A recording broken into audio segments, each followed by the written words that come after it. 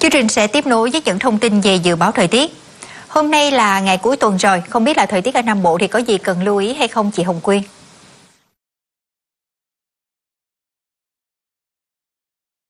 Xin chào buổi sáng cuối tuần các quý vị khán giả của miền Tây hôm nay ạ. À. Ngày hôm nay một ngày chủ nhật khắp khu vực Nam Bộ tiếp tục trong trạng thái là trời nắng nhiều và quý vị sẽ cảm giác nóng rõ nếu mà chúng ta ở lâu ngoài trời.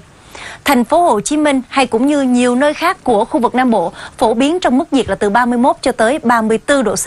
Thậm chí như là Đồng Phú hay Biên Hòa còn chạm ngưỡng nắng nóng 35 độ C. Không chỉ có nắng nhiều mà chỉ số tia cực tím cũng ở mức gây hại rất cao.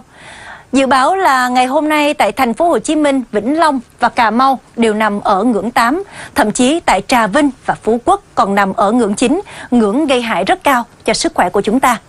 Vì vậy cho nên là người dân hãy à, sử dụng một số cái biện pháp để chúng ta có thể bảo vệ làn da và sức khỏe của mình.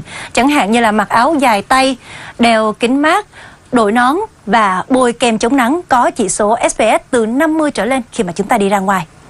Chuyển sang thông tin thời tiết tại đảo Ngọc Phú Quốc. Vào trưa chiều nay thì trời cũng có nắng ráo và không mưa, nhiệt độ cao nhất khoảng 31 độ C, rất là thuận lợi cho các hoạt động vui chơi và du lịch. Trên biển, Dự báo ngày hôm nay vùng biển từ Cà Mau cho tới Kiên Giang có gió khoảng cấp 5, cấp 6, giật cấp 7, biển động. Còn ở vùng biển từ Bình Thuận cho tới Cà Mau, gió mạnh hơn khoảng cấp 6, cấp 7, giật cấp 8, cấp 9, biển động mạnh.